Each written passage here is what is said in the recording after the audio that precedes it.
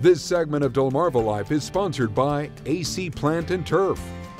Plant care that benefits not individual homeowners but entire neighborhoods. Isn't it nice to cruise through a development and see all the gorgeous landscaping? Truly is a sight to see. It is. Mm. Now, what you might not always be thinking about is the team of professionals behind all of that vibrant vegetation. Teams like the experts at AC Plant and Turf. With us this afternoon is Richie Thurman, who's the president and owner of AC Plant and Turf. Thank you so much for coming in. Yeah, good to see you guys. Love again. talking mm. to you. So, you've got something that you can offer to an HOA or an entire community?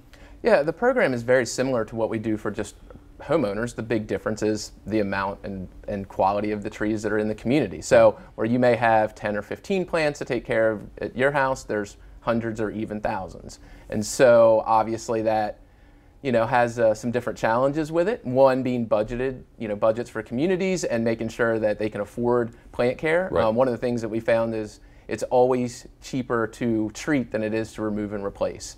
So creating programs that are custom to the communities that actually fit their budgets and also does the work. And then there's some some challenges in communities. Uh, the street trees, especially in that devil strip area, is always a challenge because of lack of nutrients and a lot of environmental factors. And one of the big things that we run into too is sidewalks cracking, um, creating hazards. So having custom things like air spading and putting in root barriers and things like that that are just we don't always do that for residential properties and it seems like right. that's more abundant now in communities wow. so talk about the benefits of having the hoa uh, service you service the whole community yeah we have a lot of communities in delmarva um, I think the big thing for that we've seen over time is communities that are taking care of their plant material, um, trees, shrubs, things like that. One, um, it's it's cost effective. Uh, again, it's always better to treat than it is to remove and replace. And two, the community has um, aesthetically it's a little more pleasing, but a lot of times it helps speed up the process of, hey, this is a new community, so we planted young trees. And what you really want is uh, a, look of maturity in the community. So by doing the treatments, it kind of speeds up the process. Um, trees look healthier and fuller, and it seems to be really working in all the communities that we work in. How in the world do you do that for an entire community? Eric, we have a team that comes in and goes, here's all the issues with your community. Here's all the things that we can help you with. Okay. And then let's take a look at your budget. And maybe your budget doesn't fit everything right now, but let us work with you and try to get you in a point of one, let's make sure that you're staying where you're at and you're not losing trees. And right. two, how can we move you forward? So with the newer communities, there is a transition between the developers and the HOA. You can help with that as well? Yes, so we, we do work with developers. Um, a lot of times developers will hire us towards the end of the, the transition as the community is being built out and sometimes the HOA directly hires us. So mm-hmm. the big thing is taking a look at what trees were planted to make sure that the trees that were planted there are going to survive and that the community themselves, once they take over the, uh, the HOA from the developer, isn't going to get hit with a huge bill of tree replacements and things like that. So we like to come in, check for pest and disease issues, make sure that they're set for the next 10 years, and then give them a plan of here's a nice transition plan um, to move forward. And, and that seems to put people on their right footing um, okay, so let me ask you about something you already said. Okay. Um, what is air spading and root barriers? So air spading is, is soft digging. You actually just use air to blast all of the soil away.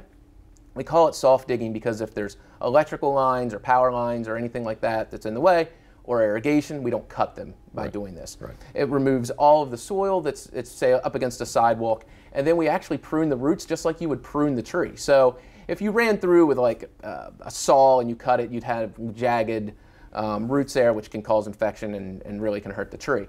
The root barrier is something that we really have gotten into where we're installing in communities from sidewalks. We're doing a project now that's going to take three years. It's huge where we go through. They've had a lot of people trip. They've had a lot of hazards. They've had some lawsuits. So they're redoing all of their walking paths. So what we do is we go in, we evaluate the trees, and we evaluate the root structure. We'll come in, we'll air spade out trenches. Okay.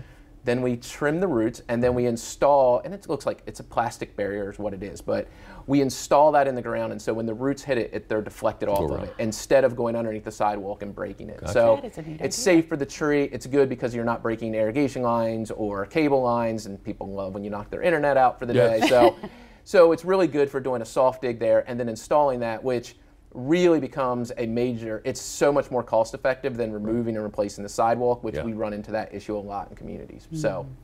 So, what has your feedback been like from uh, communities that you've serviced? So once a community starts on the program, we lose very few of them because they see um, they see the benefits pretty rapidly within the first year. We always tell people like it takes two years. The 1st year you shouldn't see any decline in the trees. The second year you should start seeing things move forward. But we've been pretty blessed in the fact that it seems like we go in and go, okay, you're, you know, with the pet problems that you have, you're probably going to lose 10% or 12% of your trees.